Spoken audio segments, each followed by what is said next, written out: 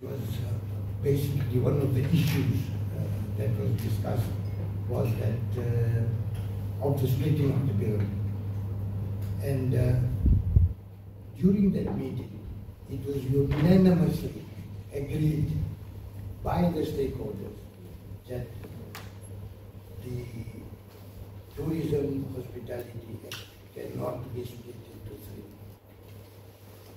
We feel that it is a burden on the stakeholders and also uh, we also brought it about to the government that before they engaged a consultant to split the bill, they should have engaged the stakeholders before engaging the consultant.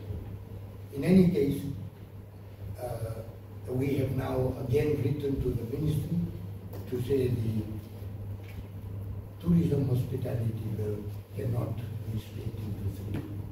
We feel that, like our president has always said, that we need to reduce the cost of doing business.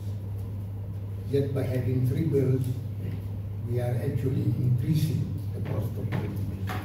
There is absolutely nothing wrong in having one bill and making certain amendments to these bills. So that was our stand at the last week on Friday.